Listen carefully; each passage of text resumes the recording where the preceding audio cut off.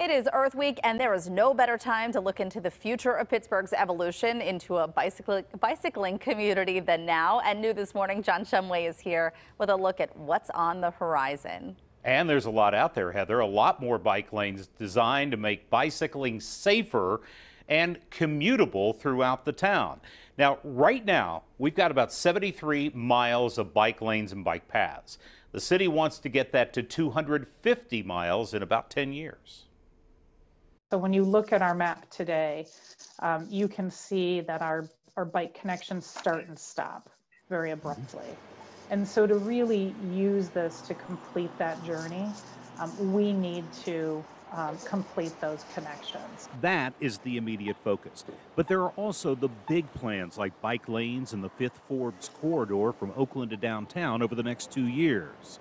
So that will include um, essentially converting what is the existing bus-only lane on Fifth Avenue um, and making that a bidirectional cycle track um, to provide for safe uh, bicycle connections there. And then Forbes through Uptown includes some uh, bicycling improvements um, there on the Forbes Avenue side. The expansion will include all compass points and communities. It does reach into um, our communities of color and into our, our lower income communities. And the bike lane future has already arrived at Penn and Stanwix Street, where you will notice a bike lane traffic signal. We wanted to make sure that everyone had clear um, direction as to when it was their uh, time to move in that intersection. And so the bike signal um, really just provides that clarity.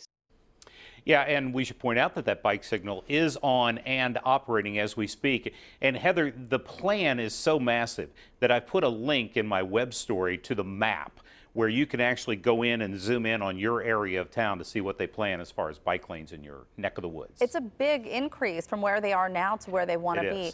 Um, John, with so many people working from home, has the pandemic reduced the need for bike lanes? I know there's been a big shift. Actually, no. Ricks says that the commuting is coming back, and she's very concerned because car sales are up and transit riding is mm down. If that trend continues, we're going to see a lot more congestion on the roads than we had before the pandemic, and alternatives like bike lanes are going to be even more important. All right. Thank you so much, John.